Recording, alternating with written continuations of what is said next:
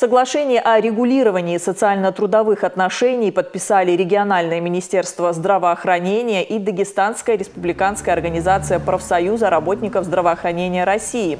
Документ подписали руководители организации Татьяна Беляева и Зумруд Бучаева.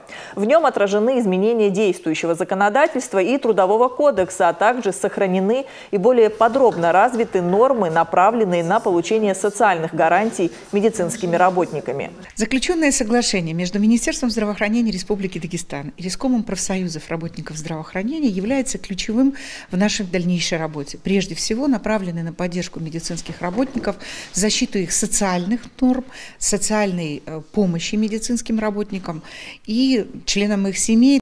В республике около 140 учреждений здравоохранения и в каждом из них большой коллектив медицинских работников. Подписанное соглашение улучшит их качество жизни, а также обеспечит поддержкой и социальными гарантиями. Соглашение будет являться основой для заключения коллективных договоров в организациях отрасли, э, гарантирующие медицинским работникам их права в организациях подведомственных Министерству здравоохранения Республики Дагестан.